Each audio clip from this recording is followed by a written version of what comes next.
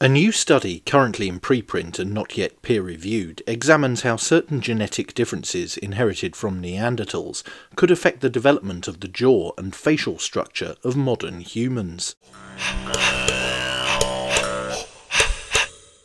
The paper, called Neanderthal derived variants shape craniofacial enhancer activity at a human disease locus, explains how the Neanderthal genetic legacy might subtly shape jaw structure and facial development in humans by altering the activity of a regulatory DNA region near the SOX9 gene. Human facial shapes vary widely due to both common and rare genetic factors.